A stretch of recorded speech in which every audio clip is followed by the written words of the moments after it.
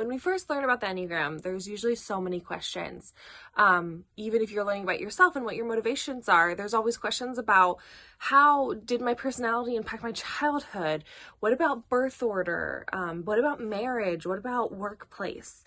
I have gotten all of those questions over my career as an Enneagram coach and as an author. And so my book, Enneagram Life Personal, Relational, and Biblical Insights for All Seasons, is all about those questions. I break up the book into four different parts. We talk about childhood, adolescence, adulthood, and advanced adulthood, and go over all different categories of thought and questions, um, like things like birth order, how your parents' Enneagram type impacted your own, um, how your friendships impact you. We talk about wings and subtypes, and marriage and parenting and workplace, and even death and grief.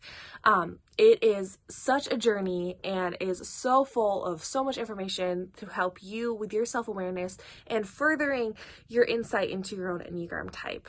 Um, and Enneagram Life comes out on November 1st. I hope that you get it and enjoy it and that it, it just expands what you're already learning about the Enneagram and about self awareness.